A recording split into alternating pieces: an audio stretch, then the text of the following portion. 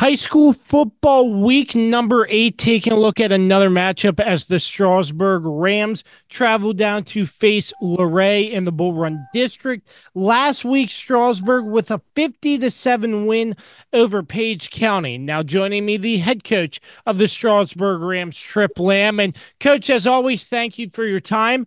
50 to 7 over Page County last week. Can you just sort of tell me what stood out to you in the 50 to 7 victory?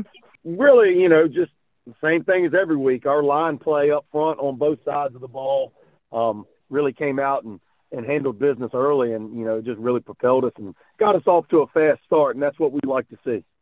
So, the fast starts, like you just mentioned, do you think that's um, a, a, good sign for your team in terms of these bull run games coming up, getting a fast start and getting points on the board early?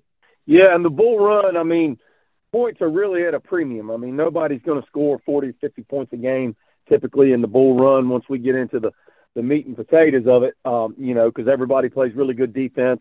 And, um, you know, so getting off to a fast start and trying to get as many points as you can early in the game because you never know how it's going to end up uh, you know, is really important. So, taking a look going through practice this week, getting set for another bull run opponent in Luray, sort of uh, what's your scout on Luray and uh, what are you trying to stop them from doing on Friday?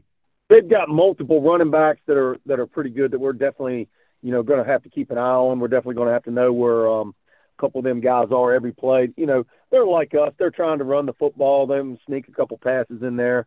Um, they're going to throw the ball a little bit more than we are probably. Uh, but they're trying to get downhill and uh, play bully ball just like everybody else in the district.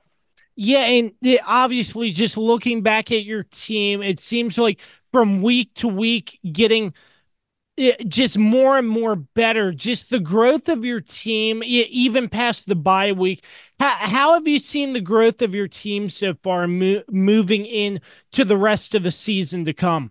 Every week we get better. Every day we get better and that's our goal is just be better every week.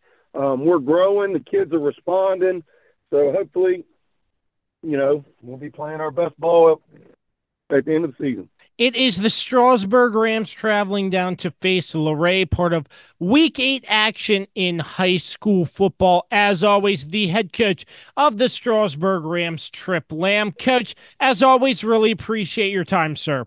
Thanks, man.